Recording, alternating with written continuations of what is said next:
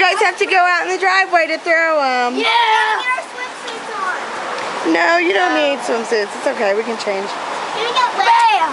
Whoa. Can we get wet? a little bit. I don't want you throwing them at each other directly. Kennedy gets two. Hold on, I want two. Kelsey, you already had one. These are my two I I wanna, I wanna. One of those is Sissy's. You made two apiece, and then you guys have to make your own. No, I'll, I'll do that. Watch this, guys. Woo! I'm filling it up with water. So we can throw them wherever we want. Yeah, but not at each other. Or a car. Yeah.